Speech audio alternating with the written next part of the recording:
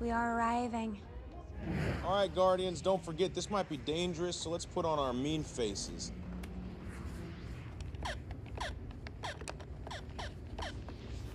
Groot, put that thing away. Now, I don't want to tell you again.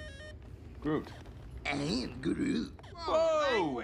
Hey, You got some acorns on you, kid. Ever since you got a little sap, you're a total D-hole. Now keep it up, and I'm gonna smash that thing to pieces.